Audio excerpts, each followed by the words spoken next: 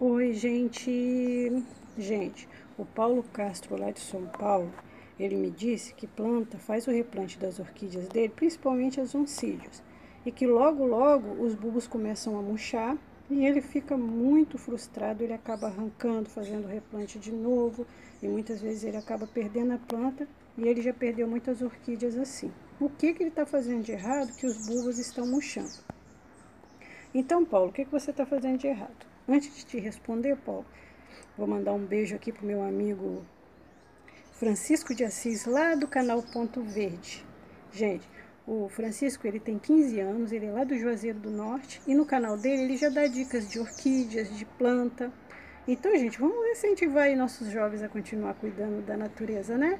Porque quem cuida da natureza, cuida da saúde e é o nosso futuro. Dá uma conferida lá no canal do, do do Francisco lá, que vale a pena, tá bom, gente? Também mandar um beijo para Francisca Queiroz, que me pediu um oi, tô mandando um oi e um beijo. Mandar um beijo também para Maria Silene Serpa, que é lá de Santa Catarina, Joinville. Ela falou que começou lá a Festa das Flores, dia 14, e que é uma grande festa, muito bonito, tá? Para você que é aí de Santa Catarina, né? Vale a pena conferir, tá bom, gente?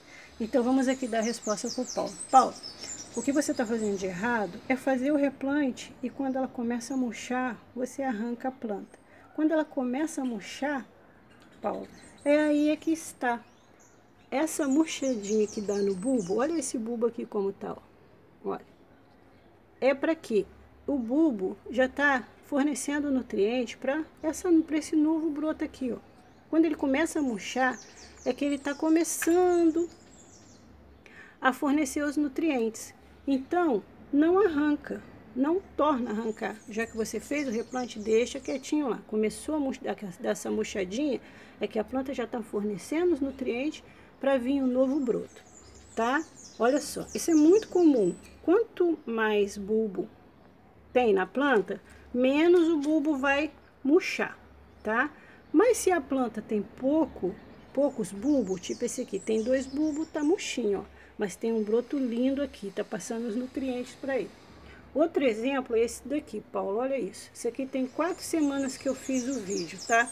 O nome do vídeo é Orquídea firme no vaso tem um desenvolvimento saudável. Essa orquídea estava solta no vaso, sem raízes nenhuma. Então eu fiz o, o, replante, se você olhar o vídeo, você vai ver que esse, esse bulbo aqui estava bem gordinho, estava bem bonito.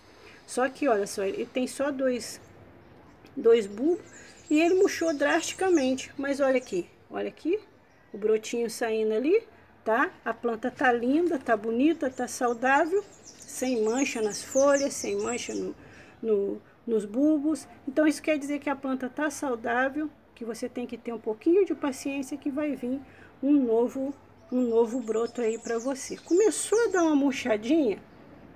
Tenha paciência tá bom? Essa aqui reagiu com quatro semanas, mas não quer dizer que a sua vai reagir com quatro semanas. Pode ser que demore menos tempo ou pode ser que leve mais tempo.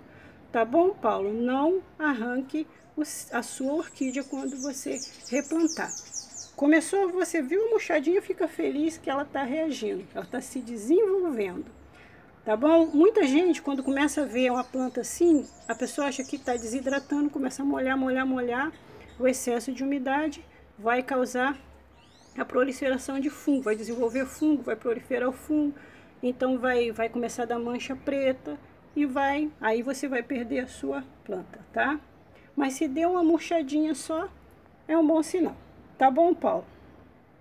Ah, gente, aqui, ó, essa haste aqui, ó, no último vídeo que eu, que eu postei, o Bruno Célico, lá do canal Bruno Célico, que é um ótimo canal também, gente. Tem ótimas dicas de, de orquídeas. Se você não conhece, vale a pena lá dar uma passadinha lá e conferir.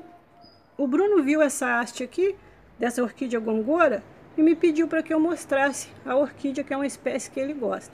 Então tá aqui, Bruno, olha. Olha o tamanho dessas folhas, Bruno. Não sei se está dando para vocês verem, gente, o tamanho dessas folhas. Aí, olha só, gente, o tamanho dessa haste, olha. Olha, olha, Bruno.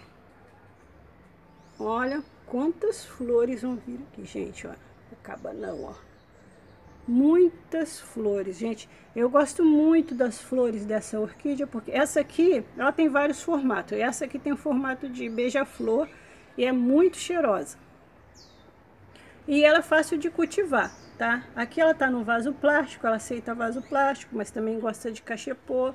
Aqui ela tá no vaso plástico com, com, com carvão, tá? E aqui ela tá no, no cachepô com casca de pinos, esfagno e, e carvão, tá? Muito fácil de cultivar.